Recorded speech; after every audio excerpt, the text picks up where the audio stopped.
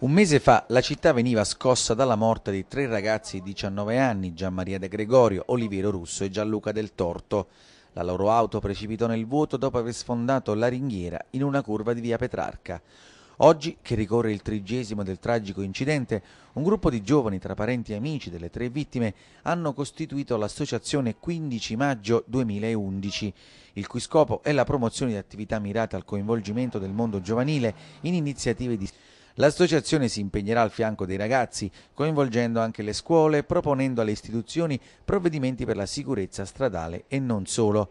Vicepresidente della neonata associazione è Ottavia Russo, sorella di Oliviero. Di solito vedendo questi episodi da fuori uno ha la, di solito la certezza che a te o alle persone vicine a te diciamo queste cose non possono succedere.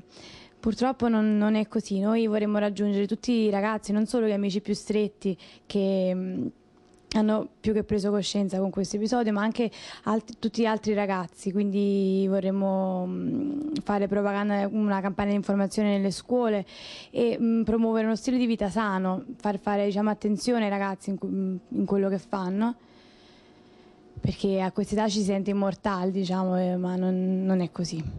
Primo impegno concreto è la petizione indirizzata alle autorità cittadine per ottenere una maggiore sicurezza e il continuo controllo del territorio cittadino. Il presidente dell'associazione, Ivan Supina Petrovic, cugino di Gianluca del Torto, spiega i dettagli.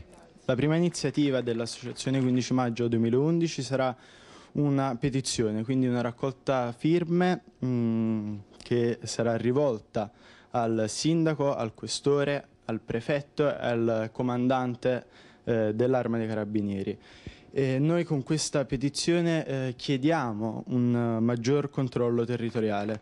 Gli fa eco Vincenzo Orsini, segretario dell'associazione 15 maggio 2011. In quella curva, in quella famosa curva di via Petrarca ci sono 41 morti. Non vogliamo che ce ne sia il 42esimo, è una, è una frase emblematica perché rappresenta tutti, tutto ciò che la nostra associazione vuole essere e cerca di essere, ovvero vogliamo cercare di, di evitare che episodi come quello che ha toccato noi tocchino altre persone. Toc